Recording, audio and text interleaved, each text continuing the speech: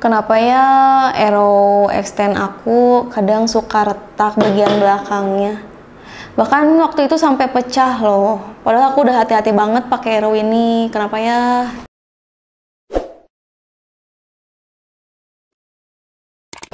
Hai Finet Lovers, balik lagi sama aku Ranti di channel YouTube kesayangan para pemanah Indonesia, Finet Archery Official.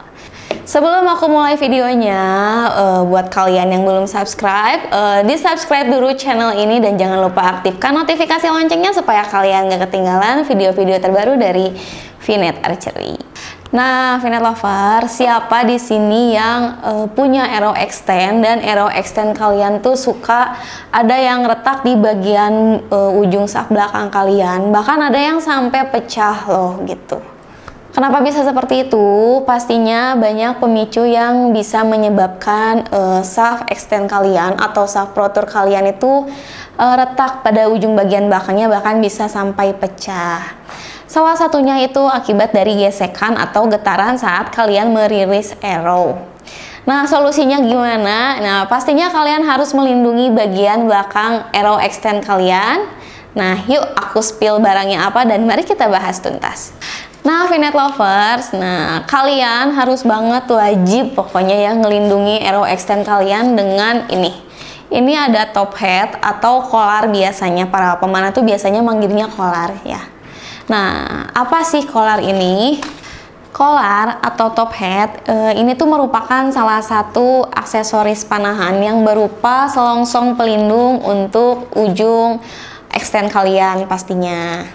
Nah, fungsinya apa sih? Ini fungsinya kan tadi aku udah bilang untuk melindungi ujung shaft belakang arrow kalian supaya nggak pecah atau atau retak-retak kecil ya. Biasanya kalau udah retak kecil lama kelamaan kalau kita paksain pastinya pecah gitu. Untuk desainnya sendiri, top hat ini tuh dia menyediakan uh, desain basis persegi ya untuk uh, adaptor pinlock kalian. Nah, dan untuk ketebalannya pun ini uh, dia bahannya materialnya itu dari stainless steel dan ketebalannya itu sekitar 0,01 inch ya Finet Lovers. Jadi ini tuh cukup banget untuk melindungi arrow bagian belakang kalian. Karena 0,01 tuh juga udah lumayan cukup tebal ya karena uh, 0,01 inch bukan mili. Nah, Vinet lovers, aku mau jelasin dulu secara umumnya arrow extend tuh terbagi menjadi dua ya. Ada arrow extend biasa yang biasa digunakan uh, para pengguna recurve dan satu lagi ada extend pro tour uh, yang digunakan biasanya para pengguna kompon. Nah, sama halnya dengan arrow extendnya, otomatis untuk top head dan collarnya pun terbagi menjadi dua jenis atau dua tipe ya. Ada jenis yang untuk arrow extend dan ada juga jenis yang untuk uh, arrow pro tour.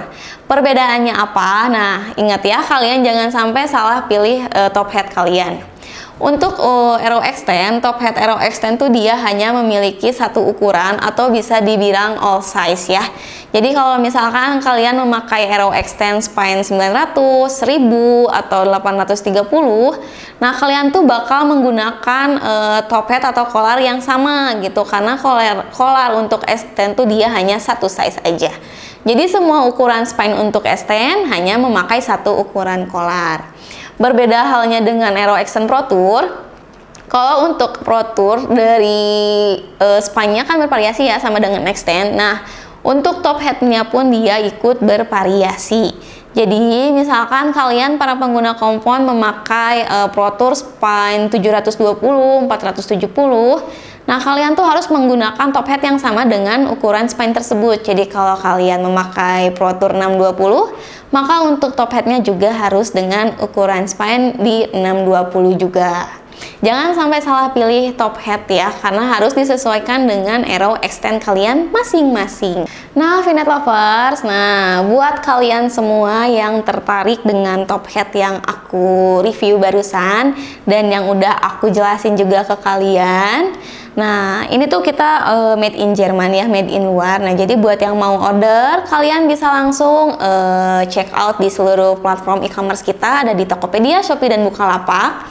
Atau buat kalian yang mau order langsung ke store juga boleh, kita ready di 4 cabang store Vinet Archery. Ada di Bandung, Jakarta, Tangerang, dan Solo.